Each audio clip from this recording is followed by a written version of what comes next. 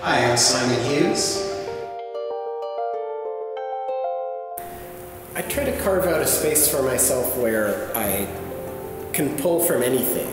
Something going on in my personal life could get in, something political from the rest, the outer world, something just purely aesthetic or painterly kind of concern. I like to think that it's pretty open-ended and that it could, it could, uh, you know, accommodate accommodate a lot of either influences or input from from the world, from any sort of sphere. Uh, I guess generally, I mean, I I think about landscape. I think about. Uh, I mean, I think all anyone who works in painting is thinking about the history of art, but so that's always in there. But the built world around us in the society I live in, landscape, which in turn talks about the history of Canadian painting and art.